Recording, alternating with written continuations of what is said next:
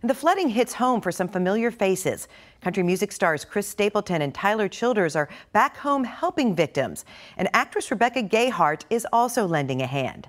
The Knott County native talked to LEX 18's Nancy Cox about how she's giving back to the place she calls home. Rebecca Gayheart left Kentucky in her teens to pursue modeling, then acting, landing a role on Beverly Hills 90210. She's made a very full and busy life in LA, but much of her heart is back in Knott County, Kentucky. First of all, my family lives there. My immediate family, my mother, my father, my siblings, my aunts, my millions of cousins.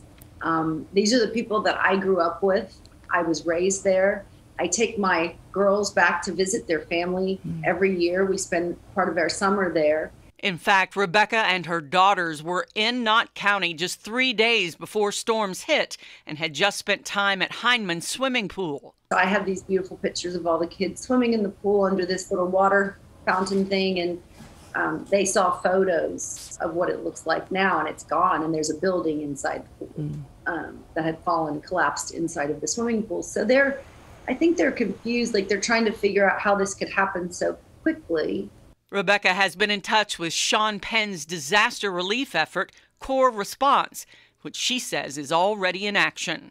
I know that yesterday they were on the ground. They were delivering basic uh, needs like items, food, uh, supplies to families in Isom in Hindman, um, in Carr Creek, in Pine Top. Rebecca has heard firsthand accounts from Penn's organization working directly with flood victims. No one wants to take these items, they want to give it to their neighbor. she said they're all so stoic. And she said, but you know, these people have nothing, but they, they want me to go give it to someone else. Seeing the news coverage and hearing from family, Rebecca felt compelled to do something. She teamed up with a childhood friend who also lives in LA to start their own fundraiser. Our families are still there, and we're just feeling so helpless. Uh, the only thing we could come up with was to start a GoFundMe to try to raise some money that could go towards helping people rebuild their lives. We've heard a lot about mountain pride the last few days, and Rebecca says there's a lot more to learn about the place that still feels like home.